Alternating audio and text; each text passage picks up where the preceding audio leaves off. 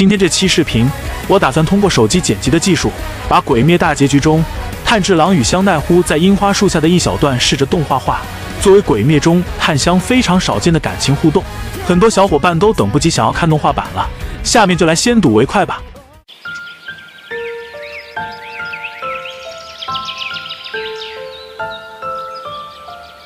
哦，这棵樱花树凑近一看还真高大。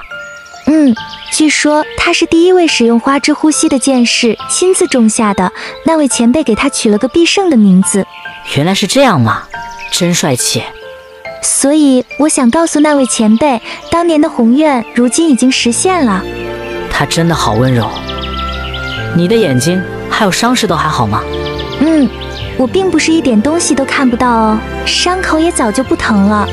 刚才风柱有来过，他把蛇柱大人的好朋友滴丸托付给了我。别忘记三连哦。